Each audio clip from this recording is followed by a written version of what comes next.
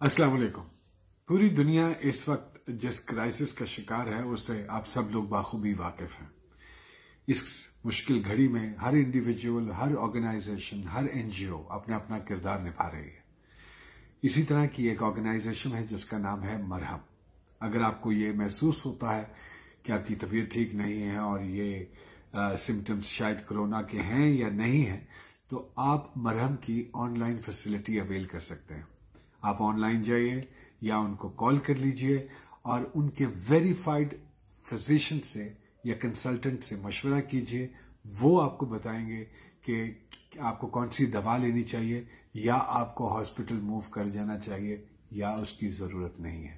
اور یہ سب کچھ اس لیے کیا جا رہا ہے تاکہ ہمارے ہاسپٹلز میں کم لوگ ہوں کیونکہ جو آلریڈی لوگ وہاں بھرے ہوئے ہیں یا موجود ہیں ان کا علاج بہتر ہو سکے۔